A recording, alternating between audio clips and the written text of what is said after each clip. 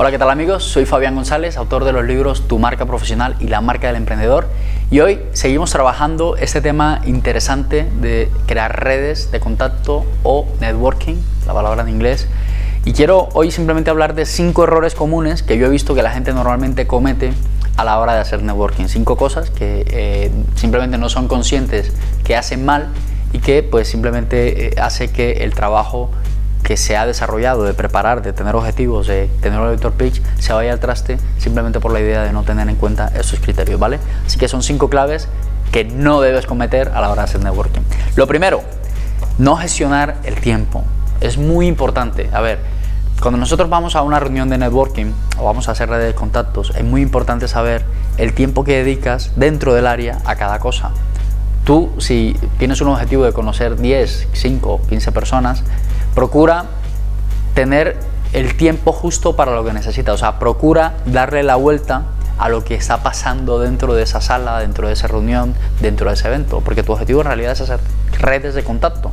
Y si tú estás solamente con una sola persona o simplemente estás en un rincón y no haces nada, pues lo que va a pasar es que no vas a establecer redes de contactos. Aquí te pido por favor que tengas en cuenta el tiempo, el tiempo que le dedicas a una persona, el tiempo que le dedicas a escuchar a otra persona, el tiempo que estás pendiente de que tu objetivo se está logrando. No digo que tengas que tener una lista diciendo, bueno, cumplido, cumplido, cumplido, pero por lo menos mentalmente decir, bueno, a ver, eh, ha pasado una hora, he hablado con cinco personas, una de esas personas podría ser un, un, prospecto para hablar más adelante, pero tú estás en función de lo que tienes que estar, y es elaborar redes de contacto, ¿vale? Entonces, gestiona bien el tiempo, porque es verdad que aunque muchas de estas reuniones al final a veces tienen una hora de finalización, otras no lo tienen. Yo pienso que deberías tener un tiempo en el que tú dices, en dos horas tengo que haber podido conseguir o hacer ese tipo de contactos, ¿vale? Gestionar el tiempo. El segundo, la gente, uno de los problemas que yo he visto en este tipo de reuniones es que no cuida su imagen personal. Miren, yo siempre lo he dicho, no hay una segunda oportunidad para causar una primera buena impresión. Y a veces eso es una obviedad, ¿vale? Pero lo que ocurre es que la gente no tiene cuidado de cómo está vestida y cómo se ve, cómo proyecta su imagen. Eh, yo creo que dependiendo del tipo de ambiente en el que estemos, con el tipo de personas que estemos, nosotros tenemos que cuidar mucho ese tema. No solamente la ropa, no solamente el hecho de que, de que, de que estés bien vestido, ¿vale? Sino que además tu higiene personal también pueda estar bien. O sea, cuidado con el aliento, cuidado con, con, los malos olores. A ver, no hay nada más desagradable en una reunión de networking que escuchar a una persona y que tenga mal aliento. Y créeme, esto pasa todos los días, la gente no se da cuenta, se puede venir un negocio al traste por esto, lo digo de verdad. Gente que simplemente no le presta atención a ese tipo de cosas o tiene en la cara, tiene cara sucia o tiene caspa en el pelo. Hay cosas que a veces damos por sentadas de que no deberían ser, pero créeme que nos encontramos un montón de veces eh, este tipo de situaciones en unas reuniones muy desagradables. Así que yo te pido ser un profesional, pero no solamente serlo, sino también parecerlo. Tienes que verte en tu mejor versión, ponerte esa camisa que tanto te gusta, con la que te sientes más fuerte, con la que te sientes más, más capaz de acercarte a una persona. Así que mucho cuidado con la imagen personal y sobre todo con la higiene personal que hacen parte de esos aspectos a cuidar a la hora de conocer nuevas personas, ¿vale?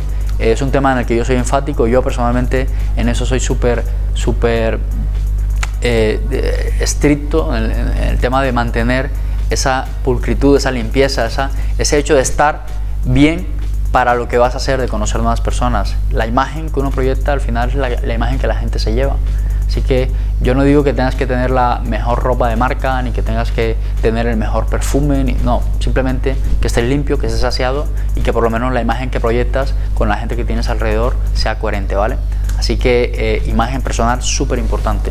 Lo tercero, yo le llamo fuera timidez. A ver, yo sé y por experiencia que uno de los grandes problemas a la hora de hacer networking o crear redes es la vergüenza que da acercarse a alguien que no conoces. Y tratar de establecer una relación de cero, es decir, eh, voy a empezar, voy a hablar, a mí personalmente me pasó un día, estaba, estaba en Londres, fui a un evento, estábamos empezando a promocionar mi libro y fui a un evento a hacer networking y no me lo vas a creer, me pedí una cerveza, me quedé en una silla sentado y dos horas después me fui para mi casa. Sentía vergüenza de pararme a hablar con alguien, sentía un poco de temor, de miedo, eso puede pasar pero cuando tú tienes un objetivo claro y sabes lo que buscas y te ves bien y estás bien presentado y, tienes, y tienes todo muy bien trabajado, digamos que eso se hace más fácil. Además, piensa algo, todo el que está allí, todo el que va a esa reunión de networking, quizás está pensando lo mismo que tú. Y todos están allí porque buscan exactamente lo mismo.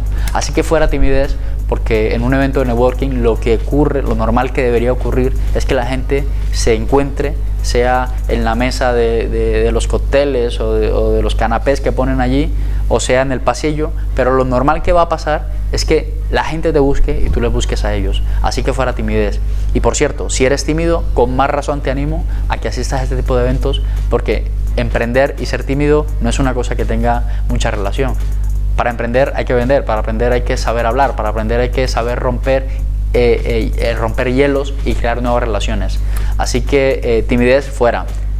Ponte, sométete a ese tipo de situaciones para que tú puedas aprender a hacer esto, porque por cierto es una cosa que se aprende, ¿vale? Muy bien. Cuarto, esta típica. Me voy a una reunión de networking y ¿qué pasa? No hago networking. ¿sí? Cuarto error que cometen las personas que van a este tipo de reuniones. No hacer networking, ¿qué quiere decir esto? Se van, se presentan, han hecho todas las tareas, han marcado su objetivo, han preparado su reunión, se han vestido bien, huelen bien, está todo perfecto, pero resulta que se encuentran con una persona conocida, se, se encuentran con un viejo amigo, con un viejo compañero y a continuación lo que ocurre es que esa persona se queda dos horas allí sin hacer nada más salvo que hablar entre ellos. Para eso no es una reunión de networking. Está bien no dejar enfriar relaciones, puede ser una persona que hayas visto en una reunión anterior y que te la hayas encontrado nuevamente, lo cual está muy bien, pero lo que te pido es que tengas un poco de, eh, de claro el objetivo, es decir, está bien saludar a las personas, pero no se te puede ir el rato solamente haciendo eso, porque entonces habrás perdido la oportunidad y el objetivo claro que era crear nuevas redes de contacto, ¿vale? Por cierto, una cosa que no he dicho, pero es importante, cuando nosotros hacemos networking, es una recomendación enfática. Siempre busca relacionarte con personas que puedan ser potenciales clientes de lo que tú vendes o que puedan ser personas que te puedan eh, prestar colaboraciones en lo que tú haces. Porque normalmente lo que yo veo también que ocurre es que la gente termina encontrándose con gente que se dedica exactamente a lo mismo que ellos hacen, es decir, con tu competidor. Pero bueno, yo igual no creo en la competencia, pero lo que te quiero decir es que si tú estás con 10, 15, 20 personas que se dedican a, estar eh, a hacer exactamente lo que tú haces, pues eso ya no es networking. Eso tiene otro nombre, eso se llama mastermind, pero en este momento no vamos a hablar de eso. Tienes que saber cómo relacionarte con la gente y siempre busca perfiles de personas que sean potenciales, eh, personas que sean interesadas en lo que tú haces, ¿vale? Y por último, el error número quinto y el típico error que cometen todas las personas que después de hacer la tarea, de preparar, de hacer el discurso, de tener un objetivo, de vestirse bien, hacer toda la tarea, hacen el contacto, hacen el elevator pitch, van, marcan el tiempo, hacen todo perfecto, todo va de lujo. Pero hay una cosa que no hacen y es, no hacen seguimiento, ¿vale? Recuerda que uno de los objetivos que se busca en ese tipo de, nuevas relaciones o de reuniones de, de networking es tener un espacio inicial para crear una relación. Es decir, la relación empieza allí, ¿vale? Pero se continúa o se termina o se cierra en un seguimiento. Si hay personas en las que tú has visto que hay un potencial perfil de cliente, de proveedor, de colaborador, pues esa persona debería seguir en contacto. Un email, una llamada, un WhatsApp, un correo electrónico, incluso un café para poder profundizar más. Sería ideal en la hora de hacer seguimiento. ¿Cómo se hace un seguimiento? Simplemente colocas el nombre la lista, de hecho en el curso, y tú a qué te dedicas, cómo presentar tu carrera tu carrera y tu discurso de ventas, tenemos plantillas que nos ayudan a hacer este seguimiento y que nos permiten estructurar claramente todo ese tema de cómo vestirnos, de cómo hablar, de cómo hacer las cosas para que nuestra sesión de networking, nuestra reunión de networking sea todo un éxito. Así que muy importante el seguimiento, muy importante saber que la persona con la que hemos quedado, con la que hemos contactado, necesita saber un poco más de nosotros y nosotros más de ella para que esto tenga sentido. Así que eh, estos son los cinco errores que no debes cometer, las cosas que debes tener en cuenta a la hora de mantener y crear relaciones eh, en red o nuevos contactos. Muchas gracias por tu atención, te mando un fuerte abrazo, vive con pasión, vive feliz, chao chao. Hola, ¿te ha gustado este vídeo? Pues si te ha gustado, te invito a que hagas dos cosas. La primera, que te suscribas a mi web fabiangonzalezh.com para que recibas todas las actualizaciones que enviamos semanalmente y puedas de alguna manera alimentarte de esa información que damos ahora con la marca Pro.